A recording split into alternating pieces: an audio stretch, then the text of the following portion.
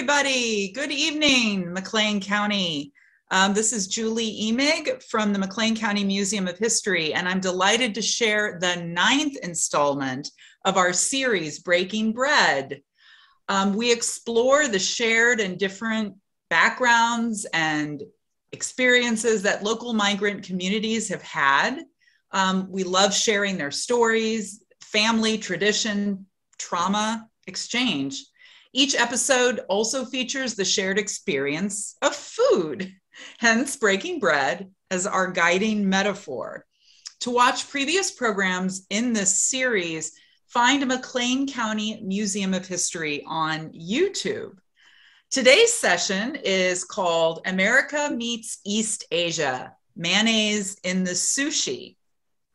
Um, before I start the program, I want to share the McLean County Museum of History's Land Acknowledgement Statement, which is a formal recognition that respects Indigenous peoples as traditional stewards of our land. As a museum of history, we think it very important to make this part of our regu regular practice. It's one of our rituals. We acknowledge the past. And may I remind you that yesterday was Indigenous Peoples Day. The land we call McLean County is the ancestral land of many native groups, beginning with the Paleo Indians 12,000 years ago, and most recently, Algonquin speaking groups, including the Kickapoo, who were forced west from this area in the 1830s. And as always, I am delighted to thank our valuable partners, BN Welcoming, which is a coalition of the Immigration Project, not in our town, not in our schools, the West Bloomington Revitalization Project, the Mennonite Church of Normal, and the First United Methodist Church, who worked together to create a supportive environment for immigrants across McLean County. We are also partnering with Design Street Studio at Illinois State University and Heartland Community College, our partners in education. Now back to this evening's program. Nobuko Adachi and Jim Stanlaw, professors of sociology and anthropology at Illinois State, will explore the intersection of East Asian and American cuisines and cultures. Nobuko is an anthropologist specializing in linguistics, diaspora studies, and ethnohistory. Jim focuses on linguistic anthropology, cognition, popular culture, Japan, and Southeast Asia. And I understand that they are co editors of Pan Japan, the International Journal of Japanese Diaspora. So we will conclude this webinar with your questions. Feel free to post questions and comments in the chat. It's fun to track your thinking. And I'm going to very um, quietly go dark while Jim and Nobuko carry us forward. Thank you so much for participating. Thank you. Thank you, everybody. Thank you, Julie, for that fine introduction, um, and Hannah and everybody who uh, was involved in inviting us here. I'm, I'm Jim Stanlaw, and Nobuko Adachi. Okay, we like nice to meet you. We again uh, very much appreciate the opportunity to talk a little bit about about sushi in the United States, and then uh, later toward the end of um, our tirade here, talking about um, Japanese food and Japanese cuisine uh, in McLean County, and maybe talk a little bit about some of the restaurants uh, that where you can find some sushi today. And Nobuko has even promised to, to later on post a, a sushi recipe. So uh, that'll be interesting. Nothing. well, okay. Considering that I can't boil water, I think it's going to be a, a major improvement. So um, you have that to look forward to. But in, in any case, I, I, guess I'm going to talk for a couple minutes um, about things, and, and, then I'm going to pass over some stuff back to Nobuko. Um, and so we're going to be playing touch football here a little bit. And of course, we both will be uh, feeling free to interrupt each other um, as we always do. So um, I, I, recall, for some of you who are of, a certain age, you might remember uh, a guy named Howard Dean who was running for president um, for the Democratic Party, the nomination back in 2004. And at the Iowa caucus, okay, um, let me just quote here, a conservative political group called this campaign a latte drinking, sushi eating, Hollywood loving freak show. Um, and of course, we had to make sure sushi eating is it would be part of the, the, freak show right there. But I guess my reaction to this now, looking in, in, in retrospect, is my how times have changed. Okay, uh, I think no longer would people think sushi eating is something uh, you find in a freak show or something weird or odd. And in fact, um, if you go to Peoria, um, that pulse of the nation, the perennial pulse that tells us, you know, what's what's new in America and what will float in America, you will find, I think, four um, sushi restaurants, if not more, uh, in Peoria. And it's not just even in Peoria, but even in our own backyard. You can find sushi in McLean County, and we'll be talking about that a little bit. So I would say there's lots of sushi here, uh, which Nobuko will tell you about in, in just a minute. Uh, we're going to come back to comparing uh, sushi and Nobuko's hometown in just a minute, as soon as I uh, finish about what we're going to be doing here in a second. We'll come back to these slides in just a minute. Um, but um, I guess let me just kind of make a couple comments here real quickly. Um, in, in, fact, I, I always get ahead of myself here. So today we're going to talk about a bunch of things. First of all, we're going to be talking about what sushi is and what it might not be. And I think we're going to find that um, what we're going to be saying about sushi may be a little bit different about some of your preconceptions that you might be having if you're a typical American, whatever that might be. Um, because as we'll see, Americans have a notion of what sushi is supposed to be. And indeed, America now, uh, we're finding, also has notions about how sushi can be made. And so a question that we'll be talking about, I think, this evening, and maybe sometime in the chat as well, is that who owns sushi? who was right? Can Americans make sushi? Is American sushi as good or the same or, or, as sushi in Japan? What's more authentic?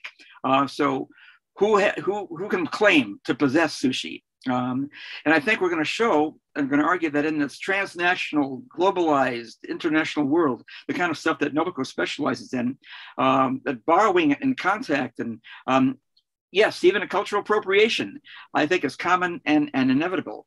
And um, in, in that sense, I think you could argue that sushi, in, in many ways, is just as much American as it is Japanese. Um, and these the American contributions, I think, have, have been seminal and cuisine changing as, as well, I think. So, I mean, and, and this is, again, nothing really new. I mean, think about uh, spaghetti and pizza, think about chop suey, think about anything Tex Mex um, many things that have been taken in the United States oftentimes go back, uh, not only to become Americanized here, but oftentimes they go back to the donor country initially. And so all this is a long convoluted way of saying that sushi's taken um, a very long road from Tokyo to Toledo uh, and back again. But along the way, it's made some interesting stops, in particular, as we'll see, in Chicago and, and now Bloomington. Um, and we're going to talk about some of these tonight. So let's kind of get on the sushi boat here. So I guess I'll turn it over to Nobuko here a little bit and let her talk now um, about sushi and maybe some sushi in her hometown uh, and just what exactly is sushi. So I'll pass it over to you, Nobuko. Could you go back to slide? I did. Thank you. Okay so when I arrived in the like uh, when I came to North America, I was in Toronto University because I went to University of Toronto. Over there, they have like a lot of Japanese people and then big restaurants. So I could eat normal sushi like which you was watching, seeing the slice. But then when I get a job here, I thought like, oh my God, I can't have any more sushi. I expected that. But then Jim said, there is sushi. Yeah, we can go. And he took me to the uh, this kind of like, these places, like restaurant, China, like, uh, sushi restaurants. Then when I saw sushi all like this, can you see this is a steak sushi? and then this is like a kind of Hawaiian hat kind of wearing things and lots of tempura around here. And I thought, what? This is really what? like a cocktail kind of thing. And not only that, this is like a hamburger sushi, they say. And this is like a burrito sushi. Yes, we do have a hand rolled one, but this really looks like a burritos. It's I don't know what is different about it, but it's different. When then I, I thought how it's different, and I looked at the ingredients kind of thing. We don't usually use like I put the um, even hand rolled kind of sushi like a salad kind of thing. But in here, we, you get, as you can see the, uh, like here, like a salad and those kind of raw vegetables. And then I start putting the uh, um, carrots in sushi without cooking it. My sister said when I was in Japan, I was talking about it, what kind of sushi I made it for my friends in America. She said, Nobuko, please don't tell them this is sushi. This is at least not a Japanese sushi. Maybe you can say Californian invasion, not ours. Please don't say that kind of thing. She was just trying, she was really, really upset about it. So what we are, can you go down one? Sure. And what we are seeing like a sushi, this is the restaurant sushi we have. and you can see these ones um, for the menu in in our restaurants, like you know, raw fish sushi type of things, and uh, that's the one we do have on, as a sushi. So from this one to like McLean County in Illinois sushi, which you are seeing it before, is very different. Could go back and forth, Jim? You know what is different, how they look different, probably taste very different. You can guess, right? Go down, please. Now, these are restaurant sushi, but we can order sushi too in Japan. This is an order like a flyers. You know, you can have this, we call it nigiri, ed, edo sushi. I will talk about what is edo sushi. It's a kind of nigiri, means like, you know, um, put the sushi rice here and then like they just squeeze it to make it. That's why we call nigiri sushi and uh, sushi. Um, but however, other kind of sushi too, because this nigiri sushi doesn't make you so full. That's why I think in the United States, you can just eat those ones at the bar. But then I like these ones, you can see these, we call bold sushi. Those ones are rice behind, underneath, and I put lots like the same kind of ingredients on it. This makes it a little bit of full. And it's this one too as a sushi. I don't know, I've never seen this much this one much in our town, but these ones are also part of sushi as you can see and going to the end. So what is really sushi I'm eating at home? People tell me, oh, by the way, what are, yeah, these also sushi. And these ones are just a side dish, noodles and those things. By the way, I forgot to. Um, karaage, chicken and those things. Because as I said, only nigiri sushi, like this sushi, doesn't make you full. So it's not an everyday food, by the way. It's a kind of event food. Then I go, what? Got also another event food um, we eat at home. Uh, this is my grandma's like, a village. Um, we had a every summer we have a summer festivals. We have a bon it means summer dance. Well, like you know, summer kind of like fest. It's music festival to dance festival to everything packed into a one two days and um, my grandma called all us all of our grandchildren and like the parents our parents get together so she prepared food like this sushi this one this one too this one do not have much of fish but or like boiled shrimp, a little bit of eggs, and other type of vegetables in here. And she doesn't make this like a real, like a, you saw the uh, sushi with fish. This one we order it from a restaurant. So like uh, we combine sushi and those ones as festival food, not a daily food. As um, that's what I I grew up with.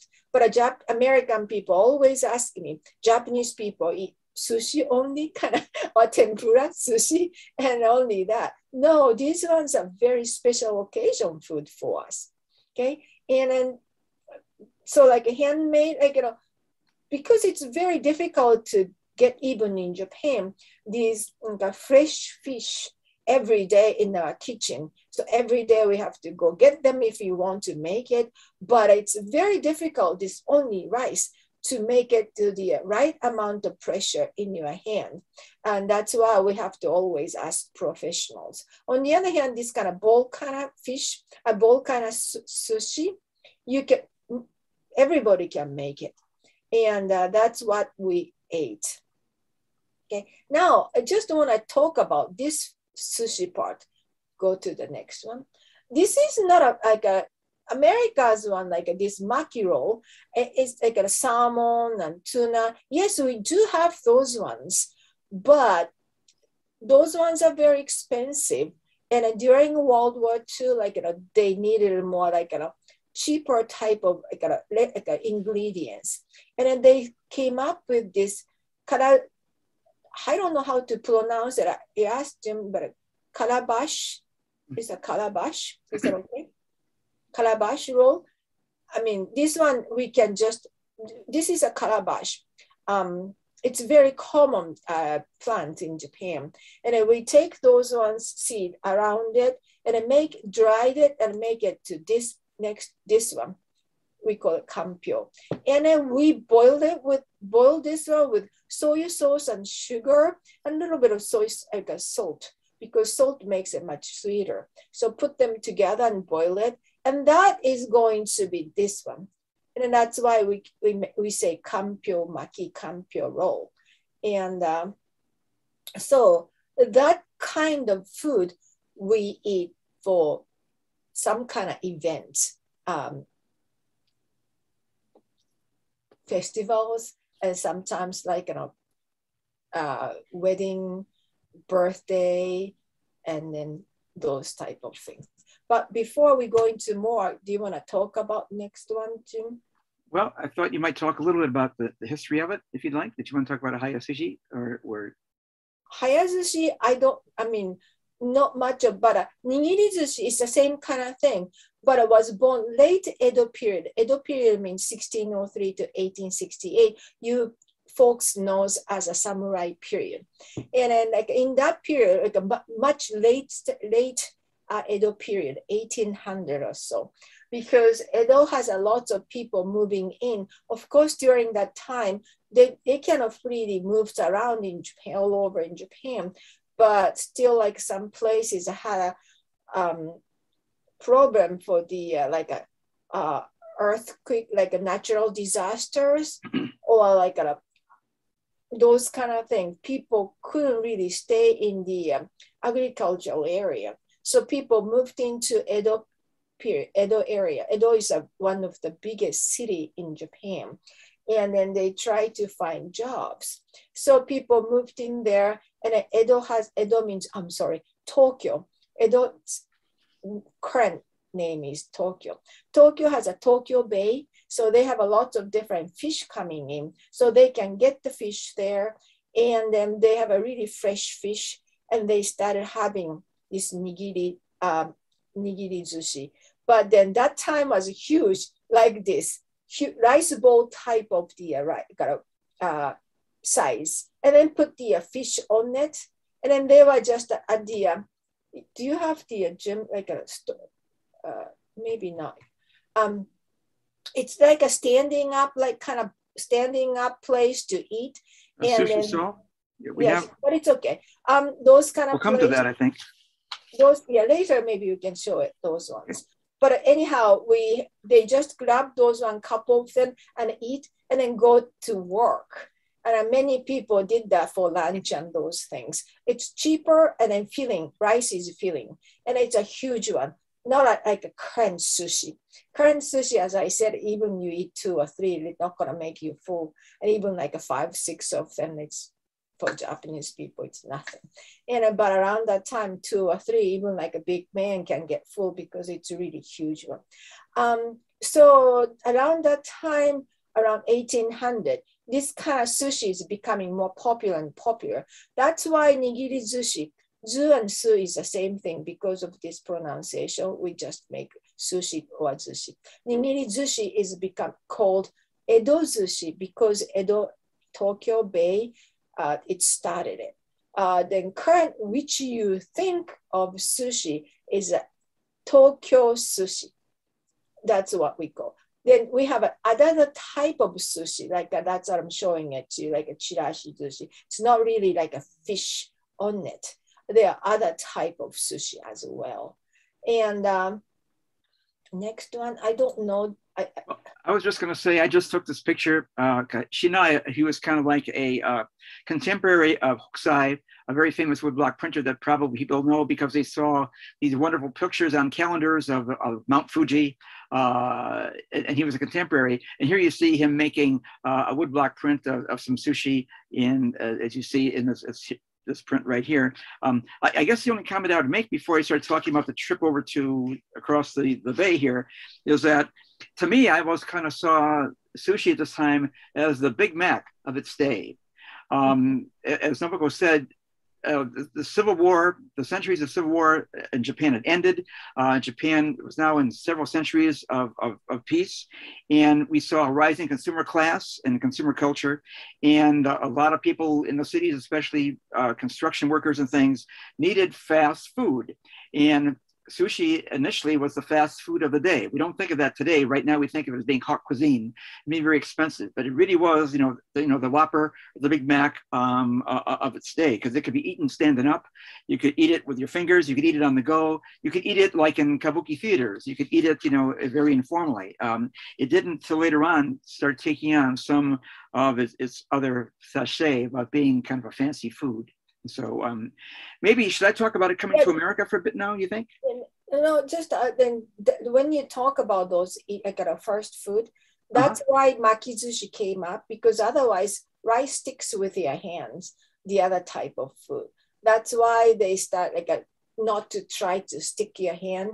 Uh, sushi got a chef start thinking about it. That's why the nori is around it right there as I, I, th- I, think you can see the I think you can see the cursor right um, okay whoops okay yeah so I I, I guess um, is that a right slide here? You can talk about the kaiten. Uh, you took off the uh, kaiten. Yeah. Mm-hmm. Um, did you want to talk about that now, or should yeah, I can talk about it. I'll go historically if you want me to. Well, uh, maybe we can kind of come back to that. Um, I, I, guess. I guess what we'll let's see. Um, oh yeah, sushi. Let's talk about this, this time. This time, sushi. Talking about sushi, uh, I said different type of sushi. There is a two way of writing sushi, even Japanese letters. This is called kanji. But anyhow, this letter, this like a sushi this one also called sushi. When you go to sushi restaurants, you are you see these letters instead of this these letters. This letter, if you see it, that's a family restaurant. If you see it at the sushi place, family restaurant or a little cheaper kind of thing. This is a daily. I mean, like a, it's a great. This word, great occasion, happy occasion, event. This one. So what happened is that oh, I'm using my curse, but are you? Oh, I'm sorry. Let you no, I'll let you do people it. cannot see my curse. Cursor, it got a heart. Maybe you are controlling it. All the time I was using it, but maybe. Can you see not. a cursor? Can you see a cursor? Yeah. Could okay. you, the first one, just pointing it out right. then? I'm right. sorry. I, I, I long, long time I made a mistake. That's the first letter is a good occasions. Okay, like a happy occasions. Can you see, Jim? Mm-hmm. Can you do it? What should I just multi? Okay, and then like the next one is event. Next word, not like a right hand side to go. Oh, That's an event. Okay. So sushi, the first one is a happy occasions. Okay, or the one word sushi. That is left side of the part is saying a fish. So this is the one you say like edo sushi, fish, like a sushi. And there are two words it has. But again, as I said, the second one is at the uh, sushi restaurants, like a really great, great sushi restaurant. You see only the uh, second letters. Upper one is just a happy occasion sushi. So sushi is becoming two different type of food in here. That was Japanese. And then, then, then but what about the uh, like a funeral and death anniversary event. Uh, we have some food too, but uh, as you can see, can you see point out, Jim, for sashimi? Uh, where is sashimi? The list, like uh, the down. I mean, like uh, the first picture down there, right here. Like, uh, there. Can you see the uh, like? Uh, can you see sashimi? You can't see it? No, no, sashimi is here, Jim, not that one. Um, up like a blue blue ball there. That's the oh, just, yeah one. And also above one is much easier to see it. right from second one, can you see that sashimi? Sashimi is right. Yeah, that's the one. That's sashimi. That's a fish, raw fish, but it's not sushi. We do eat sashimi part, raw fish part, but rice is coming differently. Like you can see left upper part, you can have a mixed rice in there. Can you see? Yeah, that's the one. That's yeah. So like a small like those those ones are soft. So you can eat it. You can put it in the rice bowl. You can sit down there. Can you, Jim? Can you go that rice bowl? Yeah, you can just put it in, in the rice bowl from this rice cooker. That small kind of nice, cute one. Then put it into the bowl and by yourself. So you can eat tempura, sushi, and then many things. Do you see, Jim? Can you can you put a cursor here? No? Where would you like to put it? the, the rice bowl, like a rice to rice bowl. Can you see the rice? Like a mixed rice was made it in the little nice rice uh, cooker type of thing. It's okay. You don't. It's not necessary, Jim. If you don't know that, that's fine. If it's okay, Jim. Mm-hmm. Just those kind of things anyhow, point here is this is not sushi, but a part of sushi we do eat for the death anniversary event. We do like a, uh, our ceremony, and uh, once we someone died, of course we cry, but uh, our farewell uh, party kind of thing to the death person, we just don't cry. We just eat, drink be, sake, beer, eat a lot like this, and then we try to smile and laugh so the dead person can go to their trouble, go on to their trouble. They can leave our place to go into the heaven. So if we cry, if we try to hang on to them, they cannot go to their trouble. So like uh, we always try to eat nice and happy, try to be happier than you are and try to smile so this kind of food is always served. That's what I wanted to tell. But the sushi itself is a happy occasion. So those ones are served for the weddings, birthday, graduation ceremony, and those things. And um, as I said, one, one more down, you can go, what happened for the restaurant sushi like we are talking about? Only one thing, not fish, is this one. Atsuyaki, uh, atsuyaki tamago. It's a thick egg omelette roll. This is a kind of like difficult to make it unless you are very expert of it. You put a, this is the one professionally sushi, sushi chef start making it except fish sushi, rice and a nigiri kind of thing. This is the only one not, I mean, fish, those even expensive sushi restaurant serves it. As you can see how to make it, you can put little skinny, uh, like a little bit of skinny, like a thin eggs you make at first at the left side, you can see. And then it's rolling it in the middle one. And then third one, you put more eggs in there and you're gonna repeat, repeat, repeat. And then making it thicker and nice floppy eggs like you can see on the top. And those ones, uh, those got eggs. But now this is a very difficult, first of all, a little difficult to make it to great taste and this floppy one, even export, and also time consuming that. Nowadays, the, even these um, eggs are ordered into those nice sushi restaurant of course, a very, very expensive place, they're gonna make it. But a normal, like our places to go, those ones are, they are buying this one and then serving it at the sushi restaurant too. By the way, next slide, to just make, when I'm making, showing the how to make those kind of thing, you can make sushi rice too easily, but point is just you have to know probably in America, it's not so much difficult to make it because this is compared to Japan, it's very dry. Japan is a very humid country. So when I make rice, fresh rice, hot one, just came out from the rice cooker, you dump it into this wood bowl, and the wood one sucks all the uh, extra moist. And in there, you even you can use fan. Of course, previous period we didn't have a fan. We used sensu, I mean, fan like a the hand handmade like a manual fan, and then mixing it with this one. And then you cannot mix it with the uh, like a starring it. You have to we call it cut, and then between that cut cut you're gonna put the vinegar and then you try to cut cut cut cut this kind of way of movement of the hand.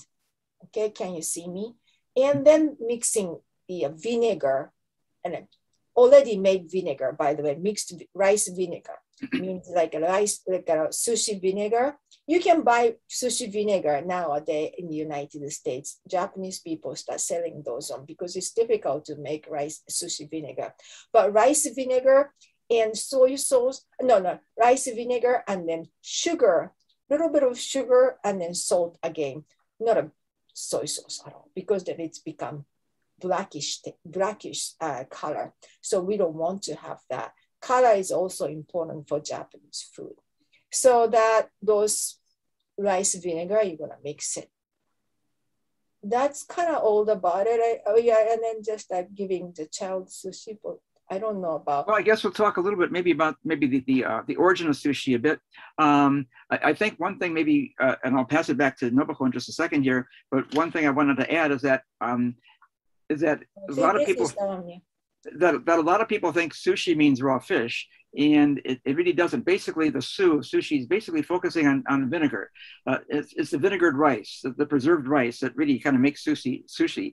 And and we'll be talking about that toward the end of our discussion later on when we start getting into authenticity. Uh, because many times, or at least sometimes, sushi made in America does not really uh, pay attention so much to the vinegar uh, uh, of the vinegared rice. And so, is, is, that something that we really have to do to kind of make sushi sushi? So, um, yeah. So I guess maybe we'll, we'll, pass it back to Nobuko a little bit about uh, about some of the origins of sushi. Here's a, the, uh, the, the sushi stall she was asking about before. Uh, there's your sushi stall stand you were mentioning. Mm. But yeah, we start talking about sushi a, a, little bit before, but like a really, really early part of sushi is like about 1500 years ago. That time was not vinegar. It was salted rice and, and a salted fish and salted rice. It's just that fish was like a, like a marinated for a couple of days with salt and then like a rice. So like a rice and then like a fermented rice, as you know, is sake. It's gonna be that kind of taste, but with the salt. And it was a long time, like only the um, like uh, rich people, like an emperor, and then those like uh, court people could eat it. But then until the end of Edo, those court people had those origin of sushi. But as I said, like around 1800, Edo sushi came up and they started making better vinegar, milder vinegar, and then I can start making really nice like a fish from like a Tokyo Bay, and I start making sushi, and I start serving it to people. But then it's become the. Uh, do you go to the? Uh, then. Um, what happened was 1923 Tokyo Great Earthquake. Um, we around lunchtime, like a seven, eight magnitude of 7.5, I think, magnitude of Japan, like an earthquake came in. And then people start preparing lunch around that time. So everybody's using fire. It's caused great like a fire, like California, current California, and then burn all, all over Tokyo and destroyed and then people couldn't get a job around that time. So even sushi chef start moving out from Tokyo because it was a Edo, Tokyo sushi. But then those chefs start moving all over to the other places. And then those ones spread out. Then Edo sushi too start spreading it out. And then second phase was, of course, World War II. And after World War II, Tokyo was destroyed by B-29, as you know. And then again, that one too pushed those to, the uh, sushi chef too to all over Japan. So these two times pushing those exports to all over in Japan. Then actually around that time, sushi, Edo sushi, this fish uh, sushi become much, much, much more popular all over in Japan. Before it was a local food of Tokyo. And um, around that, uh, could you go down there? Just I wanted to mention. Edo sushi was because you have to use fresh, fresh sushi, fresh fish. Um, people even say like this is a gender discrimination. But as you may know, uh, sushi chef is only male. You can see in Japan because they said a woman's hand is too warm to touch uh, fish, and a fish can cannot stay in that kind of like a temperature, and um, then destroy the taste of it. They say uh, that's not true, but that's how it's been told and that much they are careful about it. They don't put this like a, like a this this one was uh, emperor's kind of period of like those uh, salt and then like a rice and those type of sushi they could use this one course to ferment it the left one i'm sorry to the head i'm just using cursor um left side of the one has a uh, lid but the right hand side one which i'm showing you, it doesn't have a lid because if you put rid, you're gonna just make it to the uh, fish odor. So in Japan, usually this kind of good fish, you don't have a cover to just deliver it. You have to eat it there. Nowadays, we start delivering it. We put uh, wraps and those kind of thing, but those ones are not that really expensive sushi. I mean, like uh, you saw it like a little bit better sushi too because nowadays we can deliver it get a good one. But this, like this one in the picture right hand side one is really good picture. I mean like fish uh, those ones you have to eat it at a restaurant. Although can you see the other one? Both of them has eggs. Can you go back to this right hand go back to the other one 22 and the right hand's 22 i mean like you know yeah Right hand side, as you can see, right hand side one, right hand side, you can see the yellow one with a stamp. Stamp means you burn it. And uh, that one is atsuyaki tamago. That's the only not fish one that this one has. But this is a, that means this is a great, like an expensive place, it's sushi. These ones are not delivered. Next, next slide, please, Jim. These ones are a little cheaper one. As you can see, they can even the top right-hand side top is a cucumber maki too. While the other ones, it's already cooked one, or like a vinegar, already vinaigrettes, like a, like a fish in the, like a top kind of thing, like you can see um, right-hand side. And uh, those kind of things. Uh, I put the uh, cursor, but you, I think it didn't show up. Oh yeah, next one. Can you go into the uh, slide? Next slide, 24. Mm-hmm. Yeah, like by the way, this one I wanted to let you know, like you know, this like you know, between there, like sushi and sushi, we have the uh, we put the uh, little green stuff. Nowadays, cheap one. This is a plastic one. Used to be the uh, like uh, bamboo leaves and type of thing. I will show you that, that one later. But why do we have this one? Or like an, another one left, like a downside, like a down part of the picture has a little bit like a nice, like a cup with a made it by paper cup type of thing. We divide food not to mix each other's taste because that is our culture that what chef make it is the best taste you have to taste it unlike other uh, cuisines, some of the other ethnic cuisines, you better mix them type of thing. So they don't care if the other ones are like left left side and right hand side, like a, a dish uh, can be like a mixed kind of thing. So you they save, serve it on the a big dish, and then they put different kind of thing. In Japan, we hate those one extremely. That either we're gonna serve it in very small dishes or you can just divide it in like this kind of like a lunch box type of things. You have to put this plastic not to touch each other's food. That is another etiquette we have. And then like, uh, but this, but now we uh, just uh, to talk about this bamboo trees. Some previous period, we didn't have a really nice dish type of things that we use bamboo leaves as a wrapping kind of thing to even like another type of rice bowl. We're gonna talk about it later, not using a fish, but those ones to put it in the uh, bamboo leaves. Well, like a, to serve, we didn't have a dish, I mean, good dish type of thing. This is disposable type of things.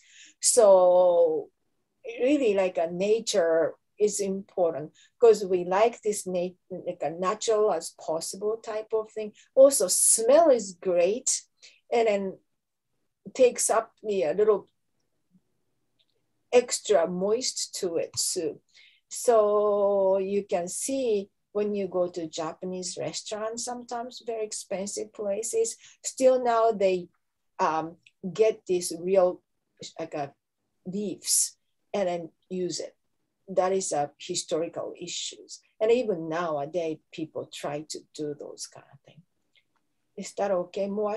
Should I talk more about well, that? Uh, I think we're going to come back. Let me finish up the history a bit, how sushi came to America, and then I'll turn it back to you. You can describe the different kinds of sushis that people might not know about.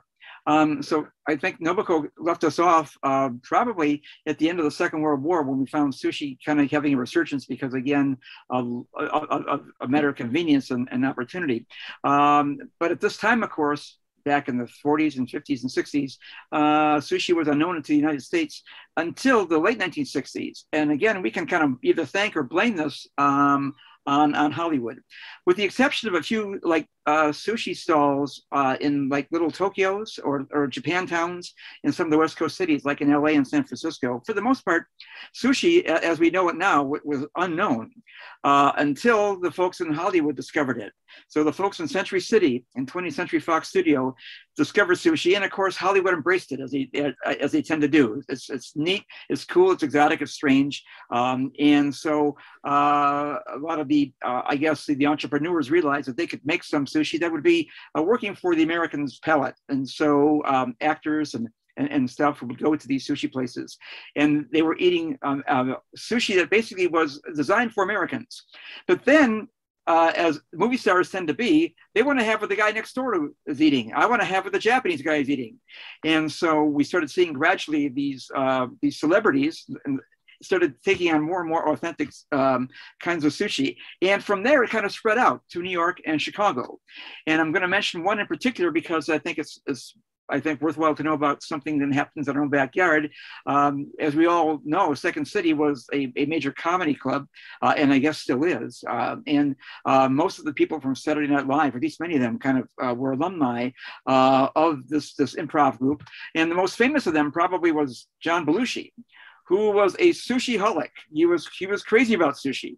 Uh, I guess uh, Dan Aykroyd said that. Um, I guess the inspiration for the Samurai Chef, that Saturday Night Live sketch that we see uh, John Belushi still doing, uh, I think on, on reruns, um, that I guess uh, skit was inspired by uh, sushi masters that. John Belushi knew at, at some of the sushi stores that were near the, the second city. At the same time, too, and, uh, while it was becoming popular in California, the US government was making dietary regulations and recommendations talking about um, a high cholesterol meat food. Red meat food was bad for your health. Uh, we should eat more, more fish and things. And so this, in a sense, is kind of what the doctor ordered.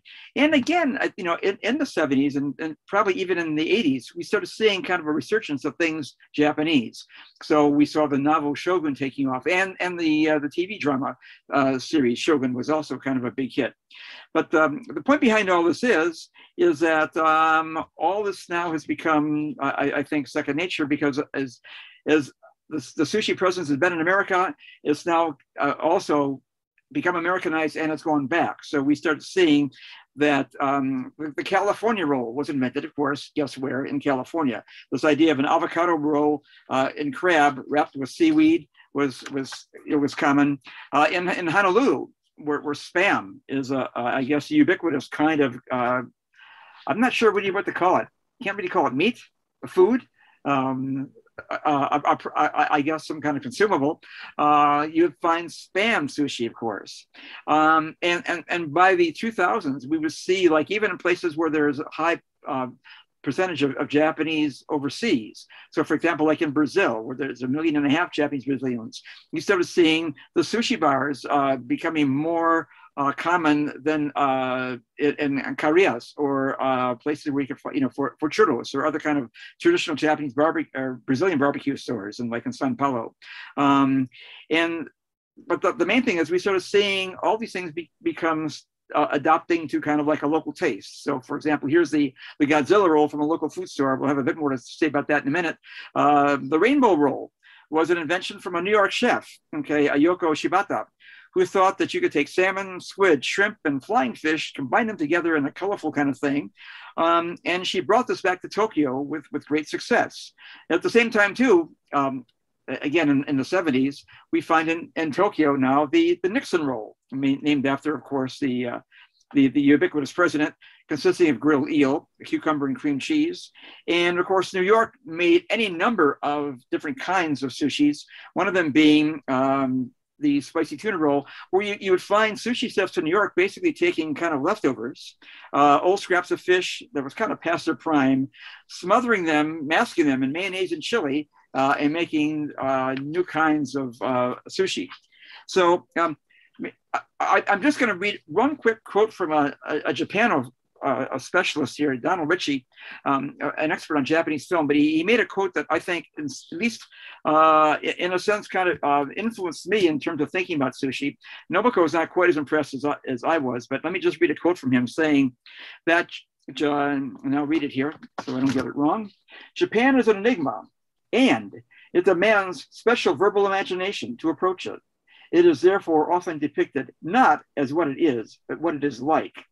These metaphorical observations, each in its own way, indicate something so truly Japanese, a unique culture of wrappings, which envelopes all conceivable aspects of Japanese life. Uh, so this notion of, of, talking about Japan being something that's wrapped and, and, and, and rolled is something we find uh, mentioned by, by many observers, uh, both Western and Asian, about Japan. Donald Richie was just probably the first one to articulate it this way. Even anthropologists like Levi Strauss have made comments about this. Um, so th this idea of, of wrapping in, in, Japanese, this idea of ho or tsutsumu or, or tsutsu, um, is something that we find, I think, I think, popping up in, in, many aspects of, of Japanese culture. And, and for me, at least, uh, to kind of get a handle on thinking about sushi, uh, this idea of, of rolls of sushi, especially you know the, the maki rolls, which Nobuko will be talking about in a minute, was I think a, a, fruitful way to, to think about things, especially if you're interested in things like semiotics, the science of science. Uh, this idea of wrapping, uh, it, it, appears in, in many aspects of Japanese culture.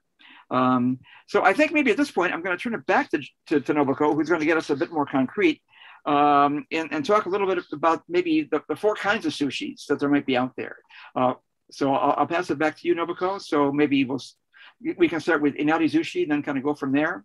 Again, inari sushi to me, I think the notion of, of, rice wrapped in, in, this kind of fried tofu is, is very much I, I think part of this, this, idea of wrapping, but Nobuko disagrees. So no, no, um, it's wrapping for you, but for us, it's stuffing. Stuffing, stuffing okay. sushi to okay. me, and that's what we say. That's why it's different from maki. Maki is a roll, some some some maki roll, right?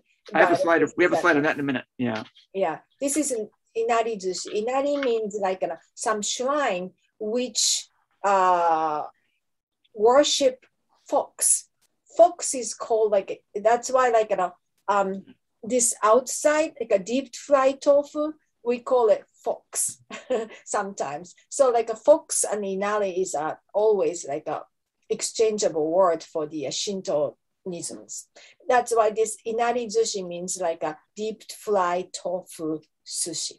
Okay but it's inside is like a just a plain like a vinaigrette rice or some people even put something in the rice and it's stuffed.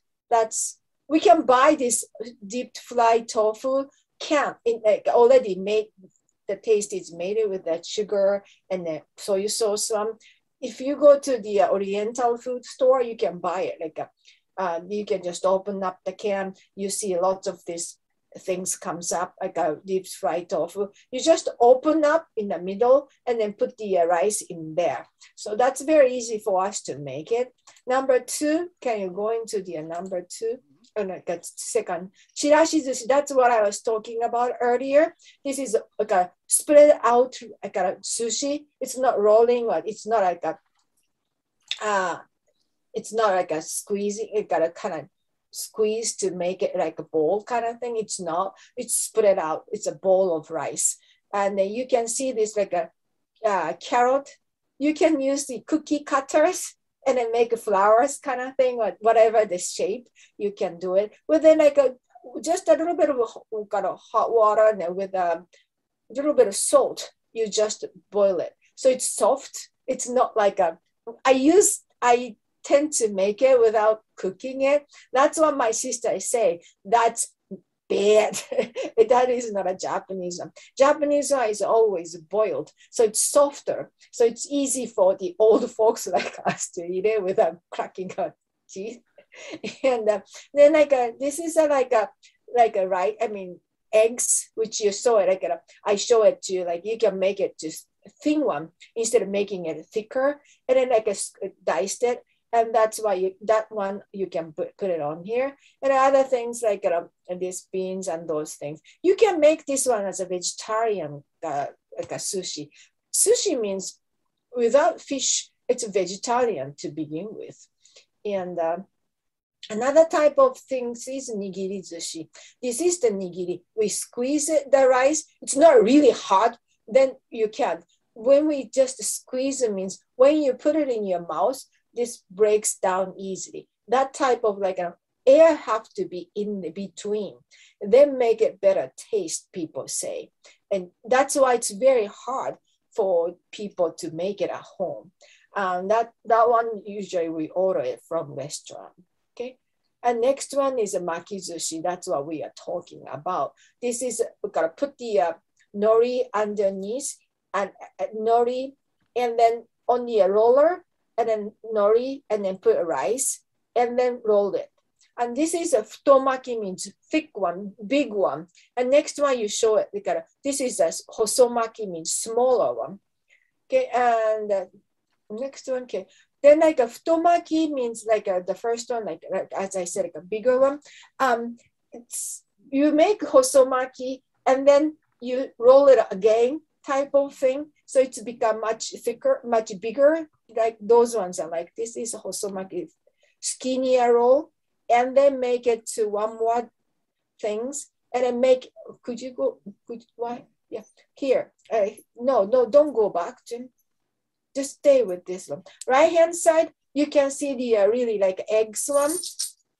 Inside like a one, two, three, four, five, five skinny roll one, small roll one, and then put it got more rice, and then put it eggs, or like the other one too, like left side one. This one you make it a smaller, smaller one, and then make it flower shape, and then start rolling it a bigger one. And then the other one, like nowadays we have a competitions like a people's face and then flowers and those kind of thing. And then you even you put the little bit of coloring kind of thing. Again, here Japanese food they don't use coloring thing. It's illegal in Japan to use it much. Um, these ones are made for the like a vinegar and like a, like also leaves and then make it to different colors. So these colors are natural colors usually. And go to maybe next one. This is sashimi. That's what we are. I wanted to let you know that in the uh, funeral and also like a funeral anniversaries, uh, we eat only sashimi, not the rice part. So some people, vegetarian people, maybe not able to eat it, but for us, if we have a too much rice, we get full, but we would like to eat raw fish more. So I like to go to sashimi more, actually, that type of things. And the next one, uh, these ones are makizus, I mean, a component. I don't know, this is American version. This looks weird to me, Jim. This is your, your picture. I think. Yeah, uh, I, I, think for right now, um, what I'm going to do is talk for just a minute um, about uh, maybe fusion sushi or or alien sushi. Um, now, as I think we all know, these days Americans are quite um, willing to borrow many things from Japan. Uh, people are reading manga, they're watching anime, they like Japanese video games, uh, they like comic books and Japanese films. Uh, they're wearing Hello Kitty backpacks, they're and, and, all kinds of other devices and so on. Um, and so and many have lamented the, the globalization of American style things and fast foods like McDonald's and Kentucky Fried Chicken uh, and, and pizza and stuff, which you can find anywhere. But we sometimes forget that Americans also import things and import foods from uh, things abroad, and, and, especially food. And one of the things I find really interesting about this is that uh, of all the cultural objects that, um, uh, that are most restricted by taboos and prescriptions, um, most of which time we're very much unaware of, um, is food. I mean, when you think about it, what we eat, what's the food, how we eat, when, when we eat, who we eat with. These are all extremely regulated by cultural, I think, prescriptions, though we never really think about them, we just kind of eat. So in one sense, it's kind of interesting that we find that food has been some of the most ubiquitous things that people have, have borrowed and, and have taken abroad. So there's, there's almost like a, a syntax of food here a little bit. And if this is a, a, a talk in linguistics, we can kind of go through and, and, talk about the different kinds of languages that food possesses. So for example, um, particular settings, devices to use to eat, um, the sense of aesthetics, which must go along with things. Um, and, and, generally, these sense of aesthetics, though, aren't really borrowed when they're taken in and, and overseas. Um, and but what happens though, they, they become nativized and, and, and they become changed in, in many ways. And so what I'm going to talk about really quickly here is that we, we looked at sushis in a, in a whole bunch of restaurants across the Midwest. Um, and I'm going to be showing you things now that none of which you'd find in Japan. Uh, these are just some examples I'd be talking about it in, in more detail if we have some time, but I'm going to skip some mercifully. But you see things like sunshine rolls, or snakebite rolls here, which are made of deep fried yellowtail with no rice, topped with green onions, sesame seeds, um, eel sauce, and mayonnaise. Japanese see this and they are, well, initially, they were appalled. They said, What the heck is this? In fact, Nobuko still sees this. I mean, there are sushi, quote unquote sushi, in America that Nobuko will not eat you know banana uh, sushi. I don't want to have a monkey crazy monkey roll. A crazy banana monkey roll. Crazy monkey roll is great sushi. I really really love it. I can't eat all of it but uh, nobuko says she will not even touch it. So um, all kinds of, of, of, of, sushis that have been invented in America. Spicy gringo roll, the thriller roll based from Michael Jackson, uh, the Godzilla bomb, the shaggy dog roll, you see the shape here. Uh, things named on places like in Philadelphia um, or, or all kinds of things. And so um, one of the things we found is that there are hundreds of different kinds of American sushis that are out there. Some made from from university things, some made from um, superhero characters like the King Kong roll, uh, the Godzilla roll, the Ninja roll, um, and then there's a whole bunch of made from I think emotions or what I think are sexual innuendos. Um, we haven't eaten these pictures yet, but we'll get to them. The I'm a flirt roll, with spicy tuna, crab sticks, the Sex and the City roll, the Sweet 16 roll, the Tender 11 roll, the Sweetheart roll. So there's there's a whole bunch out there. Um, we're going to come back to Mexican foods in a minute, but what I want to do is skip ahead to a whole bunch of things and talk about um, McLean County for a second, and then we're going to come back and talk about this admixture and, and cultures again. So um, as probably many of you know, in, and we're, we're, basically being anthropologists here and using pseudonyms in all the things we're talking about. Um, a restaurant that we'll call the Grand Kitchen uh, started in 1921 here in Bloomington Normal, one of the first uh, Asian restaurants in the Midwest, uh, even before Chicago. Uh, I mean, there's some debate about whether or not it was the first or not. The building lasted until 2017, 2015. Um, this restaurant, under other management, of course, is still existing under a, a, a different auspices, but uh, they were the ones that first brought Asian food to McLean County, to, to Bloomington Normal. Uh, and, and Chinese food, there were other Chinese foods restaurants came for a while and we ubiquitous for quite some time. And, and, while I'm at it, I want to make a shout out to the McLean County Museum of History. Uh, they have a marvelous resource for anybody interested in food. Um, they have a collection of menus that go back to 1936 uh, from all different kinds of places. I, I, I, don't know when it actually stopped, um, but I, I, think it's 2016, but there may be more. But this is a marvelous resource for anybody wanting to do some work about um, food in McLean County because uh, it's, it's really lots of fun. So uh, there were Chinese restaurants then uh, from the from at least the 20s uh, until the 1980s, and then a big change came to normal. Um, and of course, many of us who are of a certain age know this. Uh, it first came Diamond Star Motors Corporation, a joint venture between Chrysler and Mitsubishi. And part of the problem was is that uh, at this time, Japanese cars were becoming quite um, quite competitive. And there were made there were uh, stipulations made about import limitations about how many cars could be imported from Japan to the United States. Uh, Mitsubishi was was a bestseller uh, from the Chrysler Corporation, um, and so it, in order to sell more, they they wanted to come up with a joint venture, Mitsubishi. So um, and and Chrysler joined forces and made Diamond Star. Eventually, uh, because Mitsubishi was doing so well, they bought out Chrysler uh, and became Mitsubishi Motor uh, Motors of North America. And they are now today's Rivian plant, of course. And uh, for about 20 years, they successfully made uh, lots of cars, as you can see from an old picture here. And um, a lot of pre- there were a lot of problems that happened. Partly was there was a scandal in Japan itself about the Mitsubishi Corporation. Another problem was the so-called zero zero zero, um, I guess, promotion from the, the Mitsubishi uh, company here in America. That is, zero interest, 0% down, and uh, 12 months free. In fact, both Nobuko and I took up Mitsubishi on the deal. We bought cars. Uh, but unlike a lot of uh, people, um, we paid ours back, but others didn't. And so Mitsubishi lost a lot, a lot of money from the zero, zero, zero um, I, I, guess, promotion. So that um, and also other things kind of going on, basically, to make a long story short, uh, found Mitsubishi in dire straits and they decided to eliminate production in, in normal in North America. Now, when Mitsubishi started in the late 1980s, okay, a restaurant called Tachibana uh, at Seven Currency Drive uh, was built. Now, this was a, a high end restaurant basically for Mitsubishi executives to entertain. It later morphed and became Hayashi, it is now still there today as the Harmony uh, Korean barbecue. But uh, the more important and more interesting thing was uh, for us is Ikemiya. Now, Ikemiya is probably a store that many of you don't know about. It's, it's ceased past um, it, it's uh, it's prime. It's going out of business now. Uh, this was not a uh, in fact, I didn't take a picture of it when it was still extant. It was a store that did not advertise.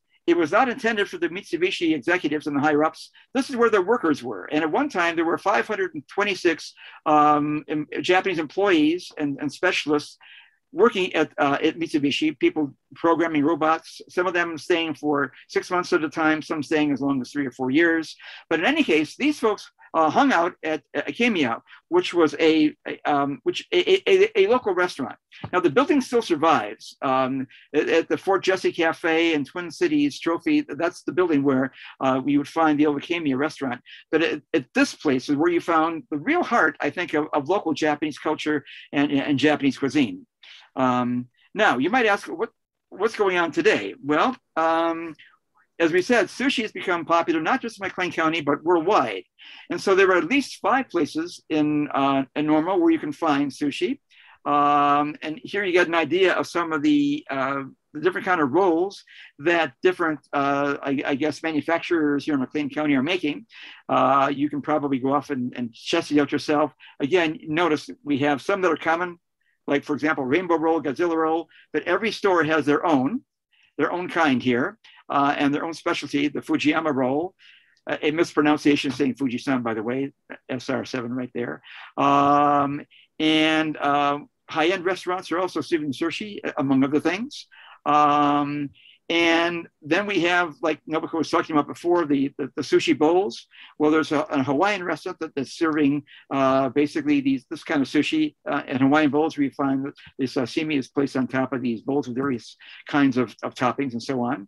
Uh, and then what we want to talk about here, and I'll pass it on to Nobuko, um, there's one, I think, restaurant that's doing something that's quite I think, very common quite ubiquitous all across North America. And that is the interesting combination of Mexican and sushi foods.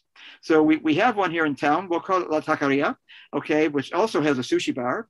Uh, here's a picture from the Vidette back in 2014. So they've been around for quite some time, very successfully. Uh, they, they, they make some interesting food I like. Nobuko is going to talk about this in just a second here. And they have their own kind of specialties.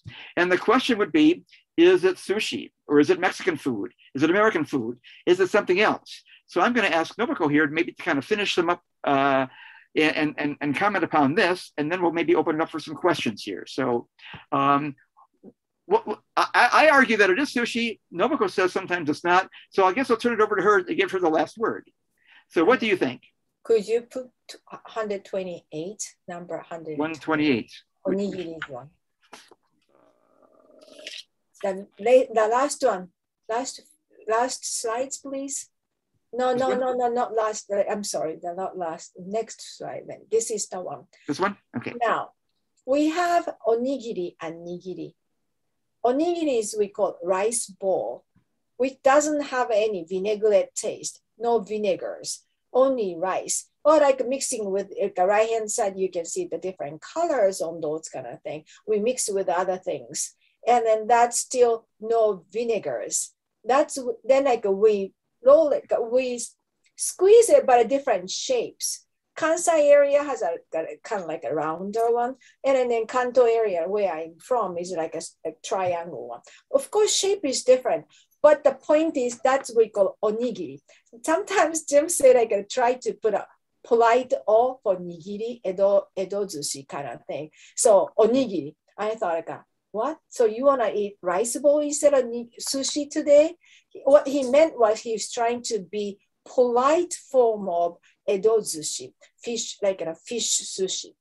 But what happened is that is a rice bowl without vinegar. That one is without vinegar. That's not sushi to us at all. Therefore, what we would uh, the going back to the other, even this one, look at the kind of really like uh, the snowball kind of like a bottom one, this little cute one. Those one has a fish and a shrimps, and those ones we still not call it like a sushi. This is a rice bowl if you don't have the vinegar. What happened to this one? Mexican restaurants, most of the Mexican restaurant, most of the sushi places, of course, chef is Mexicans nowadays because Japanese people do not immigrate to make sushi like uh, small cities. Maybe big place, Chicago, but even then, there's a very few sushi shop, sushi one, sushi chef uh, from Japan. Not like a restaurant, Japanese restaurants are here. Like owner, no Japanese owner is not gonna be in here. Uh, that many places are Chinese or Korean owners using somehow Mexican person as a chef. Now, that's fine. That can make sushi too, as we are saying, globalization, as long as vinegar is there. But our towns, one of the Mexican restaurants do not have vinegar. And then Jim loves that sushi. I said, that's not sushi, that's onigiri, that's a rice ball. That's the only thing I was laughing about uh, what he, when he called it nigiri uh, onigiri and from that restaurant yes that's onigiri from that mexican restaurant because it has no vinegar in there i mean if you don't know the japanese word um, maybe this honorific o is very difficult nigiri and onigiri but it's a completely different food one is just a rice bowl without vinegar that's not sushi one nigiri without o is sushi. That kind of thing we have. Now that said, I'm talk. I'm gonna just would like to mention at the end. We don't. We should keep a little bit more time for your question and comments. But somehow, as I said, after World War II, Japanese business is doing well, and Japanese people not necessarily wants to immigrate to the United States. Previous before World War II, yes, lots of like labor people came in. Those people are second generation, third generation, fourth generation nowadays. Those people stayed here. They are not sushi like a chef. Sushi chefs are supposed to come after World War II. The reason I talked about is, as I said, like two phases. We had 1923, and after like a World War II, sushi chefs spread out all over in Japan, and then Edo sushi became the fish sushi became very popular in Japan too of course, we had a local food as a local food from Edo period, 1800 or so. But again, here, sushi is becoming popular after World War II all over in Japan as a fish, Edo sushi, Edo sushi, fish sushi. And those people do not immigrate here, nor people opening up restaurant like a Chinese places, Chinese restaurants. So those people are making sushi with maybe a little cheaper to hire Mexican people, I mean, uh, chef. Lots of places, as you can see, Mexican people working.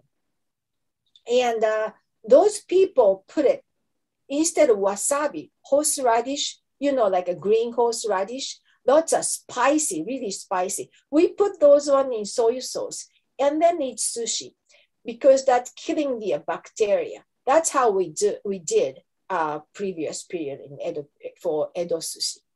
But Mexican people put Tabasco and then spicy fish is making with it from Tabasco.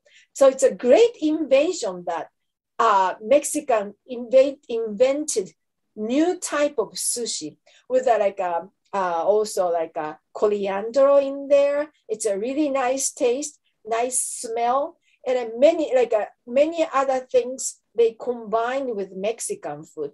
Nowadays, American sushi seems to me like a Mexican chef is recreating Japanese sushi, and, and that's very successfully. And that's all I wanted to mention about American fusion sushi. And one more thing that American fusion sushi, you can tell from wherever the restaurant, depends on the restaurant, they change the names. So we don't know, we don't, Godzilla roll doesn't mean all over America has a Godzilla roll, exact the same thing. It's not like that. So they are making a, some kind of like a shape, some kind of taste, some kind of things. Each restaurant has a different kind of name. As you can see, like a rainbow, rainbow uh, sushi or Godzilla sushi or thriller sushi, whatever it is you can tell from the kind of sense. But in Japanese case, we would like to know what ingredients in there. So all Japanese sushi, you can tell the differences. Japanese traditional one, tuna sushi, uh, tuna, and uh, salmon sushi or crab sushi, and those kind of way. Um, even like a maki roll, they are talking about salmon roll type of thing you can hear the ingredients name. So that's a very different Japanese traditional sushi and then fusion sushi. From the name, you can tell.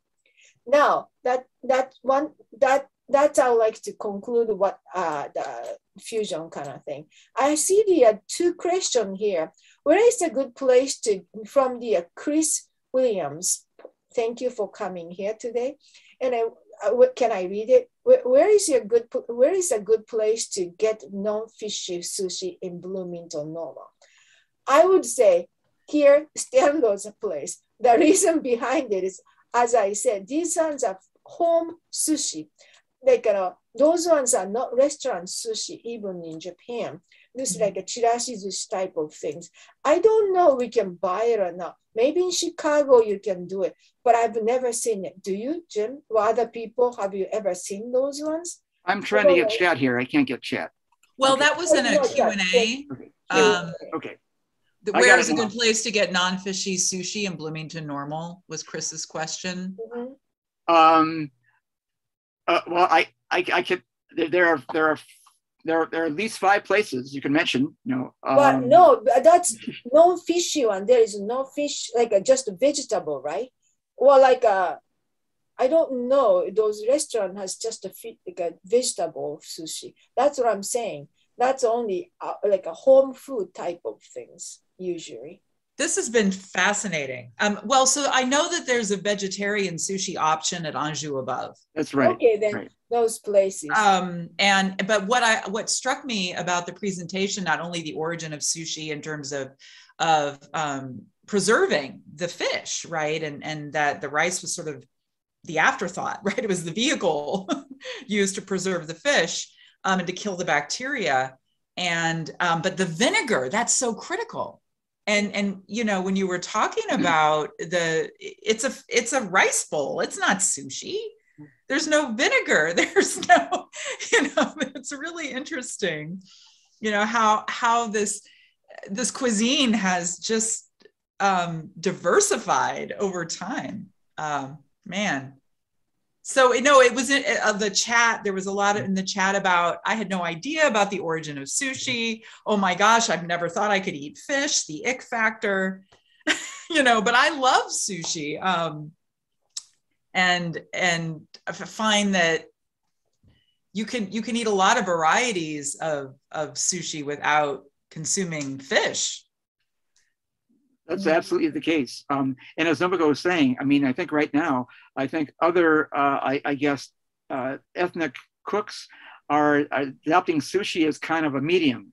So we're seeing, as, as Nobuko talked about and described, uh, some great creativity from Mexican chefs coming up with some new kinds of sushi. We're seeing the same thing with Koreans uh, you know, mm-hmm. people who specialize in Korean cuisine, modifying it and making it their own. So I, I think what you see happening in, in, in, McLean County is, in a sense, is what's happening, I think, nationwide. We're, we're seeing uh, once more that this this sushi is being used as a medium, as, as, as kind of like a canvas, right, uh, for these artists to express themselves in their own particular kinds of, I guess, uh, palates and delicacies and, and, and, and flavors. Um, so I, I, so it's, it's really marvelous. And, and some of these are indeed going back to Japan.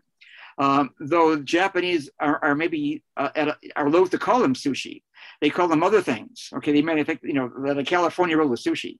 Uh, and as you see, Nobuko even kind of cringing when I say that. But California roll sushi. Nobuko just kind of goes, not quite, but but it's still good. I mean, it doesn't no, mean they won't eat it. I think anything with cream too. cheese. No, I'm saying monkey, crazy monkey, banana sushi. I yeah. can eat banana sushi. A crazy monkey roll is a great sushi. You should try it sometime. And she she hasn't even tried it. She won't even try it. Oh, I love it. Um, so there, there is a, a question from our, our friend Mike Matejka. How does okay. sushi how does sushi and images of sushi reflect American stereotypes of Japan and Japanese people?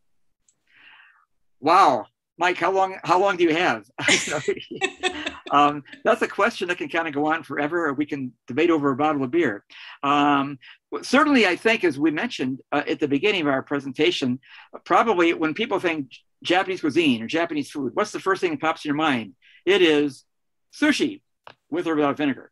Okay, um, that that seems to be the stereotype people have of of uh, I, I guess of Japanese, you know, cuisine, just like people probably think of, you know, um, Peking duck uh, or chop suey when you think Chinese food or or pizza you know. for Italian food. P- yeah. Italian people don't eat pizza that I mean, like right. especially northern people. That's right. that are also That's right. that ex- is ex- eccentric food for northern Italian. Same right. thing. Sushi is, as I said earlier, inventing things. Mm-hmm. Even this vegetarian sushi too. Like uh, we don't eat it every day, but people call me, like people tell me, like, "Are you eating sushi every day?" I wish. yeah, I, th- I, think most Americans do believe that this is common fare in Japan. That everybody is eating raw fish every day. Not even necessarily sushi, but sashimi, raw fish. I think mm-hmm. Japanese people are supposed to eat raw fish all the time, which of course is, is not true because the, the mainstay of, of Japanese cuisine and Japanese diet is, are, as you said, is vegetables. You know, so also men when they drink sake, mm. they eat sushi. Mm. Uh, no, that's not that's sushi. Right. They eat sashimi, the raw fish. Ah, sashimi with the because the sake is rice, fermented rice that they have a high calorie. So, mm-hmm. like my brother-in-law, she he is he's a drinker, so he doesn't eat rice, and then he eats like a sashimi or those other kind of Japanese like a dish, and then just drink. So like uh, that kind of thing that like a sashimi, I mean sushi is not. I mean like a rice is extra, so he doesn't do it. I, I just noticed something in one of the, the, the, chats. I just got the chats to work. Here's someone saying, actually a former student of ours. Uh, he says that he uh, he came from the It's Icky tribe, okay, but to opening his eyes and his palate. So if he can do it, I think you could be able to do it and try, you know, crazy monkey rolls. I know you think it's icky, but you should try it. So here, here's a gentleman, okay, who you know who who's been trained from little on that Americans shouldn't eat anything raw. If he can try eating raw fish, I think you can try eating a crazy monkey.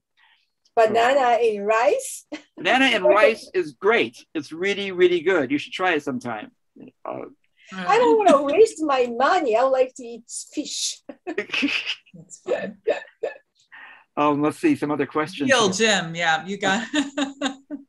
um, yeah, and Carrie noted that it was it was fun to hear you talk about a Akemiya. Oh yeah, Akemiya. That it was her Carrie. favorite right. restaurant. Had many mm-hmm. a celebration there. Um, Akemi is, is, is, a marvelous institution, and I think someone at the museum uh, should really document this uh, in, in, much more detail. But it really was a center uh, of, of Japanese, uh, um, especially Mitsubishi Japanese cultural life uh, for a decade and a half. Um, and it was a, an interesting place. They never advertised. Uh, it was more by word of mouth. I mean, people knew about it, knew somebody, knew somebody, um, or or you're Japanese, and somehow was it was part of the part of the air out there. Um, but it was really, really interesting. And you would, you know, the, the, the people were there would, would you know, uh, it, it, was always really fascinating. You hear a lot of Mitsubishi gossip. Mm-hmm. Um, a very different atmosphere than when you went to Tachibana, uh, which is where you know the executives would go, and and or, or Americans who wanted to eat haute cuisine would go. Mm-hmm. It was a, it was a very very different feel. Um, it was it was very informal, um, very small, very local. Uh, you, you, you, could sit down with, with Akemi and she would talk to you about different stuff and whatever. Um, it, it, it, was a fa- it was a fascinating place. Again, I agree with Terry. One of my favorite places, uh, and one that I, I miss a lot. Uh, with never quite anything had anything quite come up to that or you know or equal to that since. Um, and I think it, it was a, a special place and a special time probably we won't see something like that so again, at least maybe in Bloomington Normal. Um, but I don't know. But uh, anyway, yeah. so yes, yes, Carrie, I agree. It was it was a great place. I'm sorry, Nobuko, you were saying something? No, Carrie, Carrie, you have a great questions. Can you talk about how one eats sushi all in one bite, use of chopsticks, oh. how to dip in the soy sauce, and when you use the uh, pickles ginger, um, that is like you know that is very important actually when you go to real sushi shop how to use soy sauce. And can you show the nigiri sushi? Is that okay for the slide? Uh nigiri sushi okay um can you still see me? Can you still see the slides? You no. do? No okay. I didn't think so so all right. Uh, but it's okay then. and just that you have a nigiri and then fish is over it, right? Uh, mm-hmm. When you have a soy sauce there, you can take only fish part with the chopsticks, actually, chopsticks, and then like a, dip it in the soy sauce, just the one side a little bit, and then put it back on the rice, and then mm-hmm. you eat it. But then usually when you go to great like a sushi shop, we don't use uh, chopsticks to eat sushi. After you do that, you're gonna just use your hand and eat, eat it. Ah. Hand. Okay. because Edo sushi is from the beginning, like uh, Jim was talking about fast food, like a hand kind of eat, eating thing. Right. Like, like that kind of habit is there, but mm-hmm. just how to we use those kind of really expensive places. Usually, even not to put a soy sauce, but still you're allowed to use soy sauce. That's why we use chopsticks. That was a kind of like a different kind of manner it came from historically. So use it to put it back. But you eat with a, like a hands, that type of things. And an interesting thing is when you go to really expensive restaurants, they have a completely different sets of words how to order soy sauce. We say soy sauce, soy, soy sauce too in Japan. But if you go to sushi shop, we go purple, murasaki, purple, because soy sauce color is probably the dark purple kind of thing for Japanese people. Like even many things are different. Like a tea too, we ocha, but we don't say tea. Agari, I mean like a different type of vocabularies. So mm-hmm. they're showing their knowledge of those sushi kind of place. So it's a kind of delicacy, delicate, delicacy in, yeah. in Japanese too. And also like how to eat like a pickles ginger depends you like to change your taste. You are eating different fish, so you you have to change. Oh, it cleanses your taste. palate. Yeah, cleansing kind of thing. Mm-hmm. Yeah, but I, I, I love pickled ginger. I eat it just straight but up. when you yeah that's great. But it's so good. when you go to the uh, really expensive restaurant i've never been those kind of places but that kind of because it's gonna be thousands of dollars to spend over, like, over one meal um those kind of things you don't you don't say like you know um uh which one do i want to eat? I'll trust you like you know so they're gonna make it for you the chef in front of chef. Chef is going to serve it. And then they say like you know at first you are going to eat light taste fish to go to more oily one. So like the mouse is not gonna just uh, get used to with a strong like an oily taste or like a tuna, salmon, tuna, or those ones a little bit at the end to come. So those kind of order too, whatever their fish grade, like a fresh fish they get today from the uh, special market when they get it, get it, and then they're gonna decide which one to serve first type of things. Wow. But well, that's uh, that's really scary like how much we are spending that much money. So therefore, now Jim Jim had a really nice slide, like a slide, but you you are gone. But we now invented the uh, um, conveyor belt. Com- Can I take, no, conveyor belt. Conveyor belt. Conveyor like belt. Sushi. So those ones they they know like one dish is like for instance like uh, mm-hmm. a 500 like a, like a five dollars one. So how many dishes i'm piling it up means how much we are paying and also we see it what kind of thing is coming. Mm. sushi is coming mm. all over uh, going around around around. This one was actually made it in the uh, china. I mean like the chinese people migrated in like a manchuria. And then they had a great success and that person, after we lost the World War II, the mm-hmm. Manchuria went back to China, and those people came back to Japan. And then they started it the exact the same kind of built a conveyor like a sushi, and then got a success. And but they didn't have enough like a sushi chef. That's why sushi chef is making it in the middle, and they are making it like for the whole dish. Uh, but then like you know start making it more like a successful that it's going to be 19 like 1970s like 1960s 70s again this is the invention came to america too actually right I, I have a question for yeah i think it did 19, about the same time it became popular um, I, I, have a question for you, um, and I guess I should know this, but I have heard from other Japanese. They've told me that uh, wasabi, the, uh, the, the, the green horseradish paste that's put on, on, the side and people put on sushi that the reason why it tastes like that and the reason why it's used is that it's kind of it, it, it could kill germs and it's like it, it's a way to make this the sushi more sanitized or the fish more sanitized. Is there any truth to that or is that just people lying to me again? No that's how we were told when we oh, were, you were told that too? vinegar and also the uh, like a such got a wasabi too. It I mean like it's not really bad one, but it's having fishy smell too. You can kill it too. So that's how we were. But uh, we shouldn't give it to little kids. That's why I, I was kind of think, you guys feeling funny when you put the picture for serving fish to kids. We don't serve Edo sushi, fish sushi so much to kids. Number one, it's expensive. Number two, we don't want to put the uh, wasabi. So the kids sushi, nigiri sushi, we take all the wasabi out. Oh, by the way, in Japan, those nigiri sushi, wasabi is already in the between rice and oh. fish. It's okay. already comes came, comes with it. It's but if you don't, wanna, don't want to do it kids, we take it off. Mm. And those kind of thing. And uh, so a little bit different from America in that sense. Well, Jim and Nobuko, it's been wonderful. Thank you so much. Um, Thank I you so much. I've learned a lot and I want to eat. I always want to eat after these programs, but I'm always mostly just amazed at how how culture evolves and um, the way that it, it translates into different contexts. So thank you. Thank you so much. Um, for those of you still listening, we will certainly release this video on our YouTube channel for all to access and enjoy. Usually that's done within 48 hours or so. Um, and our final, final installment of Breaking Bread is Saturday, November 13th at 1 p.m. Sunday sauce, an Italian staple. So uh, look forward to some um, information forthcoming about that. Any last words, friends?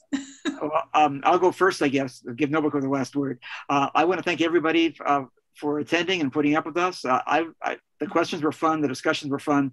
So I've learned a lot, as always, uh, from interacting with everybody. So I want to thank the library staff and everybody uh, for the invitation. So uh, thank you so much. Thank you. Thank you for everybody. I, I hope we and I answered your questions, but I couldn't hear your voice voices that I, I don't know I did it everything okay or not. If I didn't, I'm sorry. We will read your questions. You did great. And I, I caught the questions. Mostly you're just getting a lot of thank yous and thank yous and kudos. And it was really great. A great you. program. Thank you for having us. Our pleasure.